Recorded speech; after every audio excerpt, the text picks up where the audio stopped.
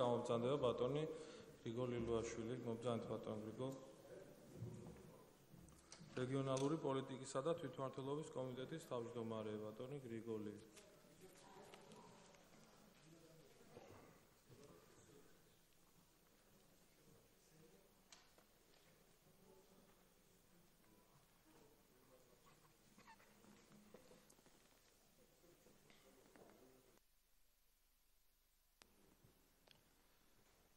კიდევ ერთხელ მოგესალმებით.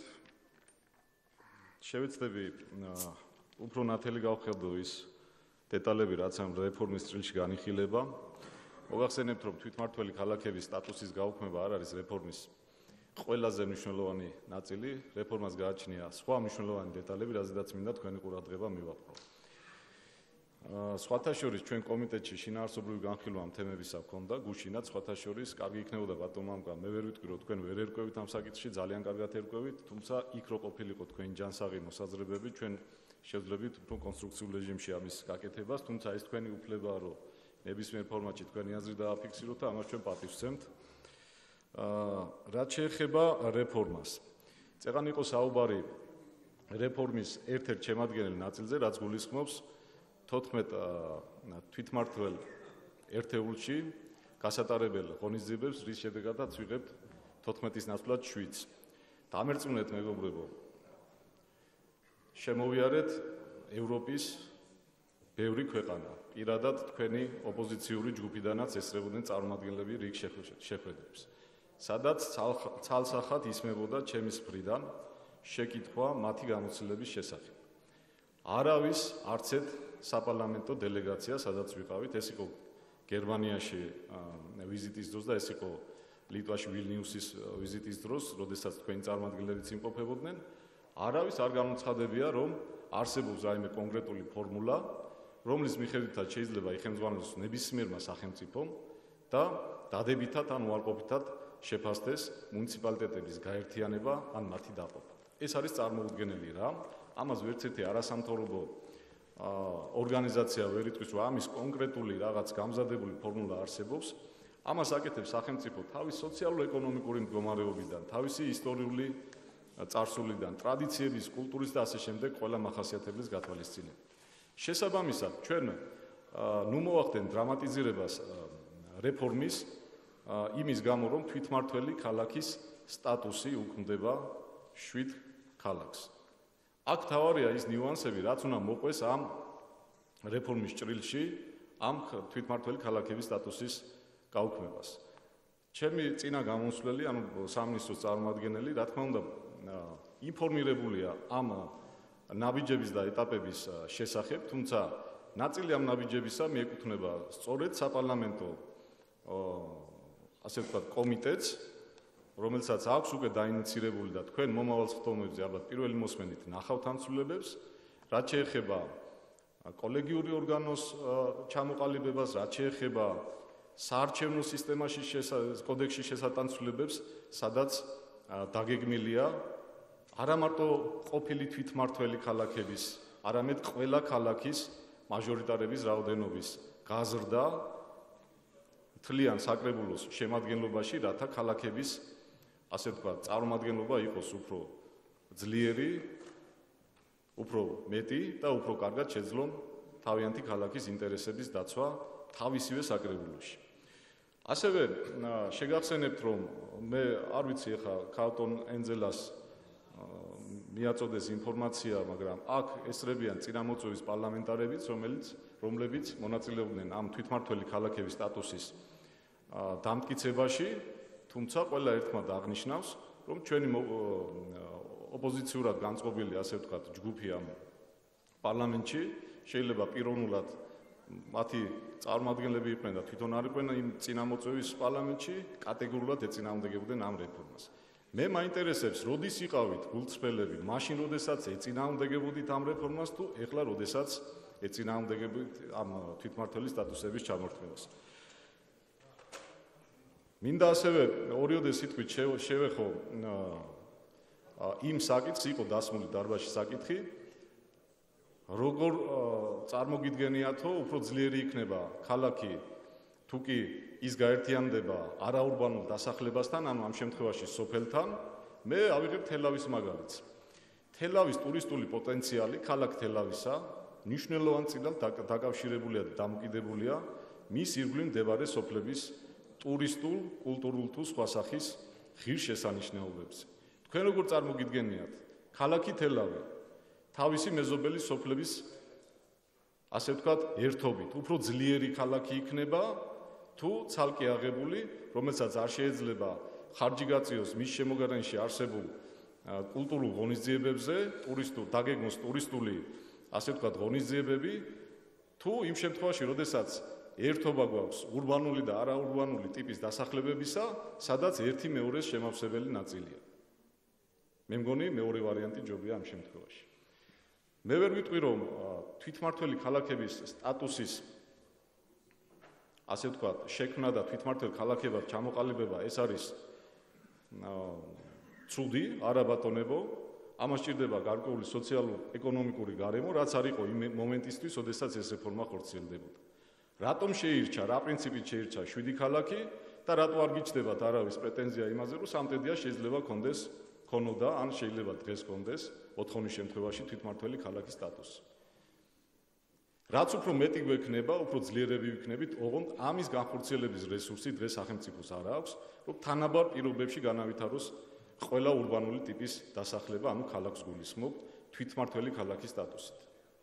რა დააშავა ზესტაფონმა, რომელიც 10 ჯერ უფრო დიდია ვიდრე ამბროლაური, რომელსაც აქვს თვითმართველი ქალაქის სტატუსი დღესდღეობით. ამ შეკითხვებზე ხომ უნდა გავცეთ პასუხი? ანუ არათანაბარ პირობებში ვახორციელებთ თვითმართველი ერთეულებების ერთეულების ასე ვთქვათ განვითარებას. რეფორმა რო წარმატებული ყოფილიყო, ეს არ უნდა გავრცელებულიყო ხოლო თვით ქალაქს. კრიტერიუმი უნდა ყოფილიყო სხვა, ვიდრე იყო ეს რეფორმის დასაწყისში. მოდი ჩვენ ვაღიაროთ, რომ იყო რაღაც შეცდომები. ეს არ არის ცუდი აღიარება, ვინაიდან ეს იყო კოალიციურ რეჟიმში გადაწყვეტილი საკითხი და უარესი ვარიანტიდან წინა მოწვევის პარლამენტმა და აღმასრულებელმა ხელისუფლებამ აირჩია ნაკლებად უარესი. ანუ მე იმას არ ვამბობ, რომ უარესი იყო თვითმართველი სტატუსის მინიჭება, უარესი იყო ასე ვთქვათ, რაც შეიძლება რაოდენობრივად ნაკლებ ადამიანებს ყოლოდათ არჩეული მე რიქნებოდ თუ ეს გამგებელი მე ამას არ ვამბობ თუმცა ამის საფუძვლები თუ კი არ არსებობდა ამ რეფორმისთვის ხელი არ უნდა მოგვეკიდა. მოდი ეს ვთქვათ ცალსახად. ის რომ ერთ ადმინისტრაციაში არ უნდა იჯდეს ქალაქ თელავის გამგეობა მერია და თემი თელავის გამგეობა ამას ჭირდებოდა უფრო მეტი ფინანსების დახარჯვა. ის რომ გამიჯნულიყო ქონებები, გამიჯნულიყო ტერიტორიები, უფრო ზუსტად დღეს სახეზე გვაქვს არეული სიტუაცია, დღემდე არ არის გამიჯნული ქონებები. ის რომ სახელები არ ქონოდათ იდენტური და რიგ შემთხვევაში პოლიტიკოსების ასე ვთქვათ დაბნეულობასაც იწვევს, ოდესაც ყურადღებით უნდა დააკვირდეს ათაურს. ქალაქ თელავის მუნიციპალიტეტი თუ თემი თელავის მუნიციპალიტეტი. ის რომ სახელები უნდა შეცვლოდათ ამ урბანულ თუ არაურბანულ დასახლებებს, მუნიციპალიტეტებს. ეს უნდა განხორციელებულიყო, მაგრამ წარმოიდგინეთ სოფელ წინანდლის მაცხოვრებელი, რომელიც ისტორიული მეხსიერებით, თავისი კულტურული, ასე ვთქვათ, გამოცდილებით თუ ტრადიციებით თავს გრძნობს თელაველად, რომ ერთ შვენიერ დღეს ყოფილიყო დაუშვათ თემი დურუჯის და არა თელავის კვიდრი. და ადამიანებს ხშირ შემთხვევაში მიუხედავად იმისა, რომ საცხოვრებელი სახლი აქვთ, ერთი საცხოვრებელი სახლი აქვთ ქალაქში, აუცილებლად დაკავშირებული არიან თავისი ოჯახური, სანათესაო სხვა ტრადიციული ურთიერთობებით თელავის ირგვლივ მდებარე სოფლებთან და იქ გააჩნიათ მამპაპისეული საცხოვრისები. გაურკვევლობას იწევდა ის თემაც, რომ ამ ადამიანს ერთი საცხოვრებლის შემთხვევაში უნდა მიემართა ერთი და იგივე ადამიანი სხვა მუნიციპალიტეტისთვის და ქალაქის ასე ვთქვათ საცხოვრისის პირობებში უნდა მიემართა სულ სხვა მუნიციპალიტეტისთვის. აი ზუსტად ამის გამო გადაწყვიტა ხელისუფლებამ რომ ამ ეტაპზე ყველა მუნიციპალიტეტი დაუბრუნდეს თავის სტატუს-კვოს და მიეცეს თანამედროვე თანაბრად განვითარების საშუალება. საკუთარი შემოსავლების დაზე მოგახსენებ ჩემო ბატონებო. დამისახელეთ ის თვითმართველი ქალაქი იმ შვიდიდან, რომელზეც საუბარია, რომელმაც საკუთარი შემოსავლები გაზარდა თვითმართველი სტატუსიდან გამომდინარე. არა ბატონებო. ეს გამოიწვია იმ გადასახადების და მოსაკრებლების ზუსტად ადგილზე დატოვებით დატოვებამ, რაც ზუსტად ოცნების ხელისუფლების პირობებში განხორციელდა. საკუთარი შემოსავლების ზრდა შეინიშნება არა მარტო ამ შვიდ ქალაქში, თვითმართველ ქალაქში დღეს მდგომარეობით, არამედ ყველა მუნიციპალიტეტის ადმინისტრაციულ ცენტრში ქალაქში. წინა კომიტეტის ხდომა ჩავატარეთ მარნეულში, არაჩვეულებრივი მაგალითია მარნეული იმისა, თუ როგორ დინამიურად ვითარდება ქალაქი. მიუხედავად იმისა, რომ არ აქვს თვითმართველი ქალაქის სტატუსი, მაგრამ არც ერთ ადგილობრივს არ დაუსვამს შეკითხვა იმის შესახებ, რატომ არ აქვს ქალაქს თვითმართველი ქალაქის სტატუსი. ჩვენთვის რა უფრო მნიშვნელოვანია? პოპულისტური განცხადების ფონზე მაქსიმალურად შევეცოდოთ, შევეცადოთ არაინფორმირებული მოსახლეობის. ესეც პრინციპში შეიძლება ჩვენ მინუსად ჩაითვალოსო სათანადო ინფორმაცია შეიძლება დეტალურად არ მევაწოდეთ მოსახლეობას.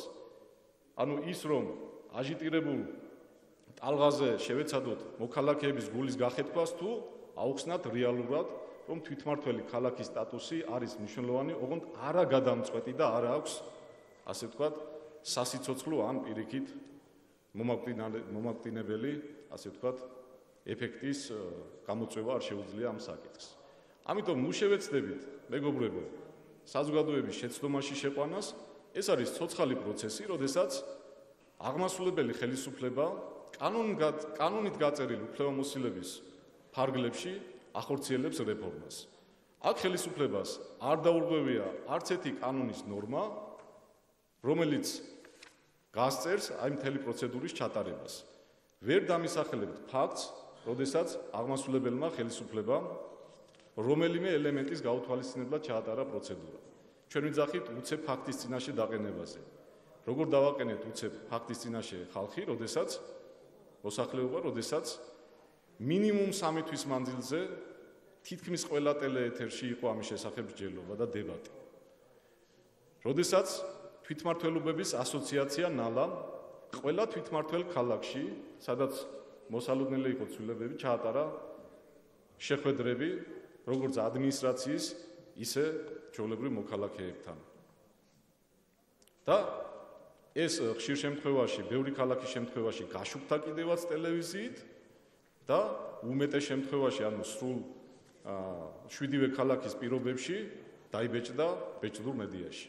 სად არის დაშვებული შეცდომა რომელზეც ხდება აპელირება ეს წარიმართა იმ პროცედურების მიხედვით რაც გაწერილი იყო კანონში სამომავლო გეგმებზე თუ გაინტერესებს საუბარი აღნიშნა ინფრასტრუქტურის სამინისტროს წარმომადგენელმა მზადდება დეცენტრალიზაციის სტრატეგია რაც ქვეყანას ჯერ არ ქონია ჩემო მეგობრებო და პირველი შემთხვევა როდესაც გაწერილი სტრატეგიის მიხედვით უნდა გამართდეს თვითმართველობა.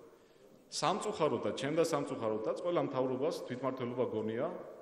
ძალიან მარტივი და ასე ვთქვათ ზერელე საკითხი, თუმცა ჩვენი ხელისუფლება ამას უდგება სერიოზულად. და სტრატეგიის გარეშე გამორიცხულია რამე სერიოზული ცვლილების განხორციელება.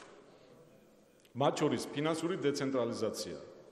ჩვენ უნდა გამოვათავისუფლოთ დედაქალაქი როგორც ფინანსური კონცენტრაციიდან, ასევე ძალაუფლების კონცენტრაციიდან და გადავიტანოთ ეს სიმძიმეები კარგი გაგებით რეგიონებში და რაიონებში. იგივე ჯანდაცვის მიმართულებით, იგივე სოფლის მეურნეობის მიმართულებით, იგივე განათლების სისტემის მიმართულებით უამრავი ფუნქციის დელეგირება შეიძლება დღეს განხორციელდეს თვითმართველ ერთეულებს. ამას გაყვება საბიუჯეტო საბიუჯეტო თანხები, საბიუჯეტო თანხებს გაყვება მოტივირებული და უკვე პროფესიონალებად ჩამოყალიბებული კადრები და მოხდება დედაქალაქის გამტვირთვა და რეგიონების გაძლიერება.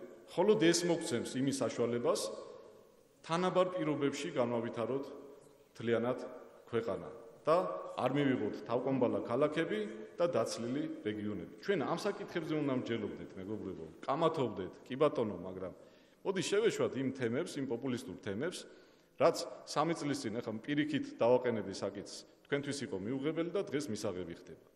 ან პირიქით ოცნებისთვის იყო მისაღები და დღეს მიუღებელი ხდება. დიდი მადლობა ყურადღებისთვის. მადლობთ ბატონო გრიგოლ, კითხვებია თანამოხსენებელთან. ბატონი მამუკა ჩიქოვანი დასვამს კითხვებს, კოლეგებო შეგახსენებთ რომ თანამოხსენებელთან დამაზუსტებელი კითხვების და